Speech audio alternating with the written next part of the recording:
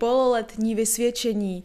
Loni si pro něj prezenčně mohli přijít jenom prvňáci a druháci. Letos zůstávají školy otevřené.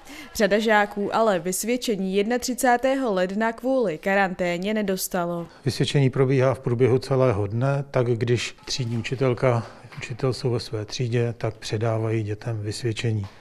Dneska máme ve škole 18 tříd z 20, takže velká, velká část všech tříd je ve škole. Já jsem měla samý jedničky. Sedm jedniček.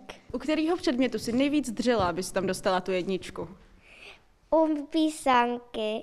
No, trošku se mi klepala ruka, ale už mi to cestalo. Na základní škole Komenského byli v pondělí v karanténě i první třídy. Prvňáci si na svá první vysvědčení tak musí ještě nějaký čas počkat. Máme 13 tříd v karanténě, takže dětem vysvědčení předáno nebylo. A dneska přibyla další třída, takže je tady opravdu pár dětí a ty třídy, které zůstaly, tak to jsou torza, tam je třeba pět dětí, deset dětí. Takže těm samozřejmě se předal výpis vysvědčení. No a ti další hold ho dostanou až po jarních prázdninách. Vedení školy se rozhodlo dát tři dny ředitelského volna, na které budou navazovat pololetní a jarní prázdniny.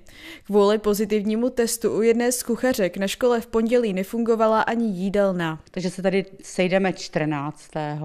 a doufáme a věříme, že to bude lepší a že už budeme fungovat v normálním režimu. Vycházíme pouze z toho jednoho dne, pátek prodloužené prázdniny. Nám na to navazují jarní prázdniny, pak hned odjíždíme na lyžařský výcvikový kurz, jede s náma 75 dětí. Školy se během uplynulého pololetí snažily z žáky dohnat neprobranou látku z doby distanční výuky. Pomáhaly jim v tom zejména dotace od Ministerstva školství na doučování. U nás to činilo 79 tisíc. Do doučování bylo zapojeno, intenzivně zapojeno 18 žáků. Máme, teď nevím teda přesně kolik, abych nelhala, ale ke 30 skupinám doučování, eh, kde se jim ty učitelé učitelé věnují třeba i dvěma, třema dětem individuálně, který to potřebují. Doučování bude probíhat i nadále, ale už v menším rozsahu. Veronika Elznicová, Kralupy TV.